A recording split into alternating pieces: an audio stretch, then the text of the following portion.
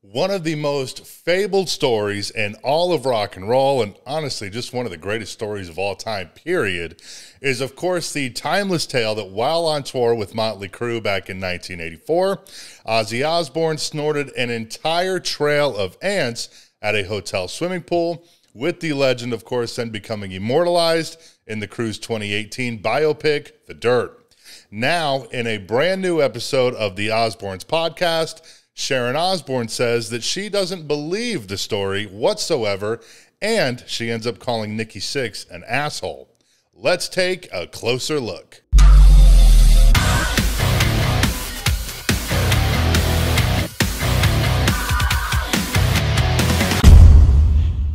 Nikki first revealed this story in 2001 upon the release of the Dirt book, uh, which, by the way, if you've somehow not yet read, you absolutely have to. It's it's a must read, and honestly, far far better uh, than the Netflix movie.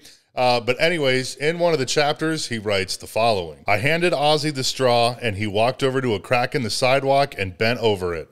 I saw a long column of ants marching to a little dugout built where the pavement met the dirt. And as I thought, no, he wouldn't, he did.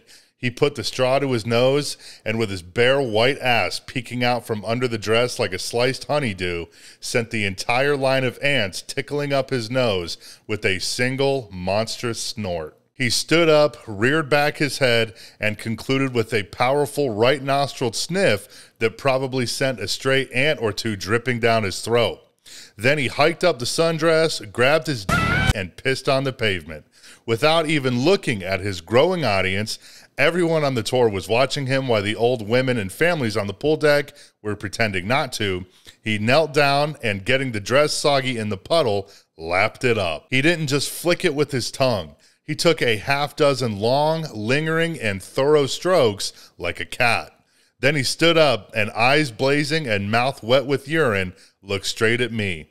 Do that, Sixx. Now, in the latest episode of the Osbournes podcast, Sharon discredits this wild story while also taking a jab at Nikki Sixx. Definitely not the first jab he's had. Uh, but, anyways, she was asked by her and Ozzy's son, Jack, if the story is actually true. Uh, to which she replied, I was not there, thank God. I used to try and stay away from Motley when they were with Ozzy. And I don't know. I honestly don't know. All I know is that I think it made their movie. And I want to know why. Now we're on the subject of why, when they advertise their movie on Netflix, it's a picture of a guy imitating Ozzy. Why isn't the ad campaign a picture of Motley Crue? Why is it a picture of your father?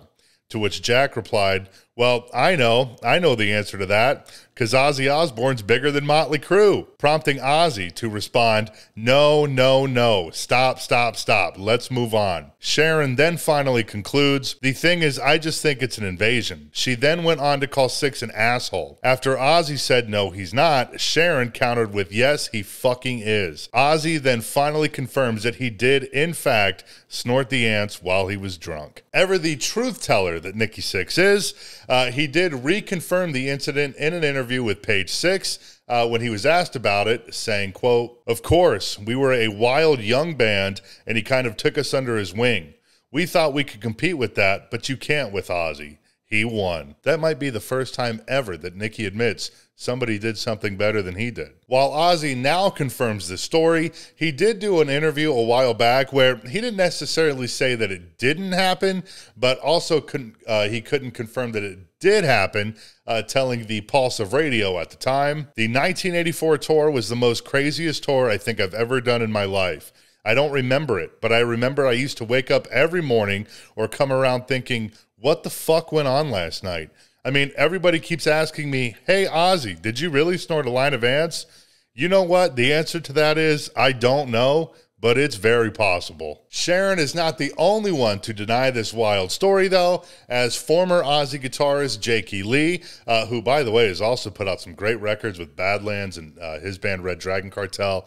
Uh, great stuff. Definitely worth your time if you're uh, unfamiliar. And if I recall, I think uh, he also said that at one point during the 80s, he was approached by Motley to replace Mick Mars. Uh, I believe it was Jakey Lee.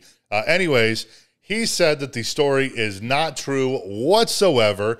And, you know, he was actually there during the incident. Uh, well, at least he was in the band at the time.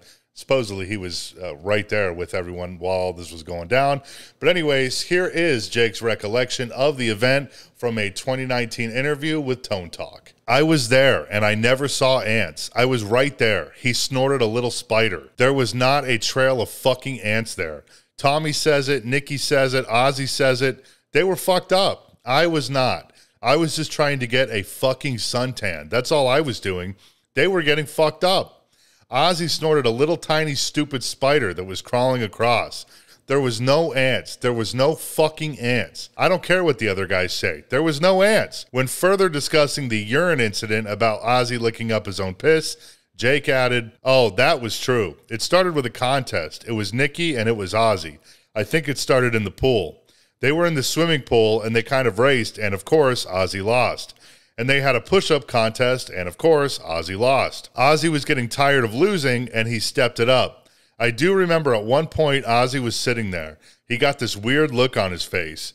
He was sitting on the concrete, and piss started flowing out underneath him. And he was obviously doing a lot of vitamins because the urine was like lime green. So Nikki Sixx, I remember, pissed on the girl he was with. She was lounging. She was not happy about it. Ozzy pissed on the ground. Nikki saw that and he went over and pissed on the girl that he was with in the lounge chair. And that's when Ozzy bent over and started licking his own green piss up.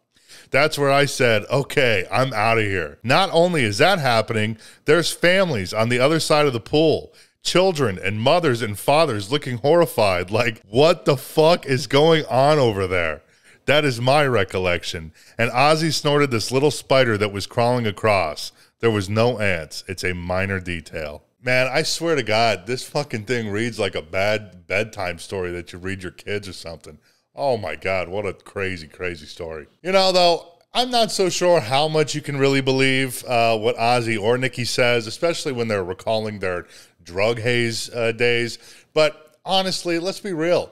This is just one thing that doesn't need to be challenged, does not need to be argued, validated, nothing. The story is so epic, so grand.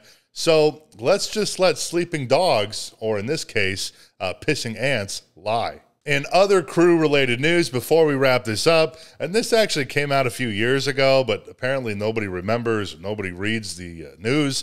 So it's actually just recently resurfaced uh, that at one point Tommy Lee was drinking two gallons of vodka a day. In a recent appearance on Bill Maher's Club Random podcast, Tommy said, quote, alcohol's such a fucking weird one because fuck. It's just, it's easy to fall in love with the way it makes you feel, the way it makes you relax. And then all of a sudden you're like, fuck, I'm drinking two gallons of vodka a day. This is not, you're trying to kill yourself now. Yeah, two gallons of shit. I swear to you, dude, I swear to God. When asked how long he was drinking that much for, Tommy responded, Fuck, man, for a long time. Your liver is on crutches at that point. It's just barely functioning. All right, though, I gotta run. My fiance wants to pretend that I am Ozzy and she is the pool, although not the swimming pool, if you know what I'm saying. Uh, so I gotta go. But thanks so much for watching. Feel free to subscribe if you want to see more. Thanks to Mammoth Headwear for sponsoring this video, where if you have a gigantic head like I do, you can go to their website, mammothheadwear.com, use code Logan at checkout for 10% off your order, and I will see you next time.